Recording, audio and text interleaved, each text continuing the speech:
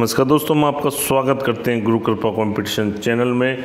दोस्तों भर्तियों पर लगा ब्रेक पचास हज़ार करीब ऐसे पद हैं जिस पर नियुक्तियाँ बाकी है, कई होगी एग्ज़ाम बाकी है, काफ़ी पुरानी भर्तियाँ है। उससे संबंधित उपेन्द्र यादव का भी बड़ा बयान है और लगातार बेरोजगार मांग कर रहे हैं कि कब मिलेगी खुशखबरी। राजस्थान सरकार ने अभी तुरंत मीटिंग बुलाकर भी जो लंबित भर्तियाँ हैं, उनको शीघ्र पूरी करवाने के लिए लेकिन लगभग 10 दिन से 15 दिन के बीच में इतना समय होने के बाद भी कोई भर्तियों पर अभी तक ब्रेक लगा हुआ है। उससे संबंधित जो नई अपडेट है, हम इस वीडियो में चर्चा करेंगे दोस्तों। दोस्तों, हम आगे बढ़े इससे पहले इस चैनल पर आप हमारे नए मेहमान हो तो चैनल को सब्सक्राइब करके प्लीज़ बेल की घंटी को आइकन को दबा लेना है जिससे हमारे द्वारा किया गया प्रयास सबसे पहले आपके दरवाजे पर आए। चलते हैं खबर की ओर। आप ये देख सकते हो भूपेंद्र जी लगातार बेरोजगारी के लिए बात उठा रहे हैं। इन्होंने कहा, पचास हज़ार भर्तियाँ अटकने से युवाओं की खुशियों पर लगा ग्रहण। दोस्तों, इन्होंने ग्रहण लगाया है। ये कहा, आवाज़ उठाने के लिए बहुत बहुत धन्यवाद। जो ये पत्रकार हैं, जिन्होंने ये आवाज़ उठाई, उनको इन्होंने धन्यवाद दिया है। ये आप देख सकते हो कि कौन कौन सी भर्तियाँ, प्रदेश में चार पाँच साल से कई हज़ार नियुक्ति अटकी। पचास हज़ार भर्तियाँ अटकने से युवाओं की खुशियों पर लगा ग्रहण है। और इतने युवा अगर जॉब में होते हैं तो इनका आप देख सकते हो कि आर एस भर्ती 2017 की एक हज़ार सत्रह पद के लिए, वरिष्ठ अध्यापक भर्ती 2018 की 9000 पद है। इनका रिज़ल्ट आ गया है, लेकिन मंडल आवंटन नहीं हो रहा है इनका।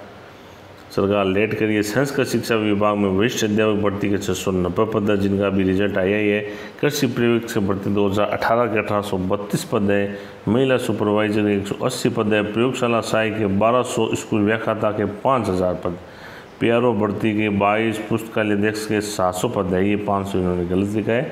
एस आई भर्ती दो हज़ार सोलह में पाँच सौ ग्यारह पद है। वन रेंजर दो हज़ार अठारह में एक सौ उनसत्तर एल डी सी के ग्यारह हज़ार तीन सौ बाईस पद है। जिनकी प्रक्रिया चल रही है अभी ज्वाइनिंग स्टेनोग्राफर भर्ती 2018 के 1111 पद है फार्मासिस्ट भर्ती 2018 के 1736 एसआई के 200 ग्राम सेवक छात्रावास अधीक्षक एक सौ उनसाठ पद, आप इस प्रकार दे सकते हो सहायक अभियंता कनिष्ठ अभियंता अग्निशमन एल सी भर्ती आर पी सी की तीन सौ सत्रह, दो सौ, दो हज़ार तेरह की भर्ती में पटवार भर्ती की बयालीस सौ साठ, पुलिस कांस्टेबल के पाँच हज़ार वरिष्ठ अध्यापक भर्ती दो हज़ार तेरह के और पद बाकी है पाँच सौ छियासी।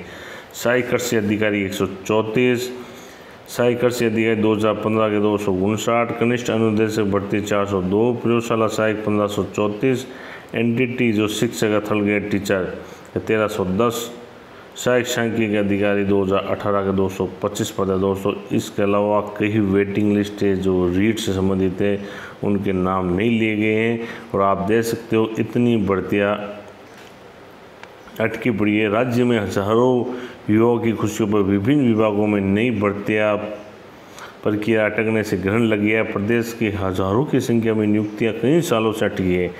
कई विभागों में नियुक्तियाँ देने की प्रक्रिया लगभग पूरी कर ली गई है और अभ्यर्थियों को मात्र नियुक्ति पत्र देना ही सेंस रहा है।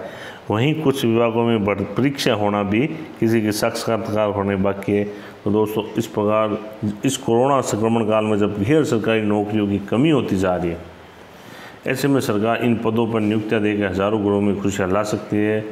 इस बारे में राजस्थान एकीकृत बेरोजगार महासंघ के प्रदेशाध्यक्ष उपेन्द्र यादव का कहना है कि महासंघ की ओर से पिछले दिनों इस बाबत मुख्यमंत्री सहित अन्य जिम्मेवार मंत्रियों को ज्ञापन दिए गए। इन नियुक्तियों को सरकार पर किसी भी प्रकार का आर्थिक बोझ नहीं पड़ेगा, क्योंकि इनका वित्त विभाग से स्वीकृति हो चुकी है और सबका प्रारंभ में दो वर्ष से इन्हें बहुत ही कम वेतन दिया जाता है और दो वर्ष तक इनको जो प्रोबेशन काल में लगभग आधा से भी कम वेतन मिलता है। हज़ारों पद अब भी रिक्त। प्रदेश में कई विभाग ऐसे हैं जिसमें हज़ारों पद रिक्त पड़े हैं। बजट के समय सरकार ने इसमें भर्ती की घोषणा की थी, लेकिन निकाली नहीं। इसमें आर एस है, जूनियर अकाउंटेंट है साई रेडियोग्राफर है, ग्राम सेवक है, कंप्यूटर सहायक है, वनपाल है वन रक्षक है, स्कूल, कॉलेज व्याख्याता है, लाइब्रेरियन है। सहित कई विभागों में रिक्त पद है जिन पर भर्ती की प्रक्रिया शुरू की जाने की मांग की जा रही है, भर्तियों की परीक्षा विशेषज्ञ नरेंद्र सिंह और संदीप यादव कहते हैं कि लंबे समय तक रिक्तियाँ नहीं आने से युवाओं में निराशा आ रही है, ऐसे में सरकारी नौकरी संभल बन सकती है। तो दोस्तों, आप देख सकते हो, इस प्रकार इन भर्तियों से अटकने से इनकी खुशियों में किरण लगाए। हम राजस्थान सरकार से निवेदन करते हैं कि जो आपने जो लंबित भर्तियों को मीटिंग की थी कार्रवाई में तेज़ी लाई जाएगी क्योंकि कोरोना काल में बेरोज़गारों की हालत ख़राब है। अब हम इस वीडियो से विदा लेते हैं। मिलते हैं नई अपडेट के साथ। तब तक जय हिंद, जय भारत, वंदे मातरम।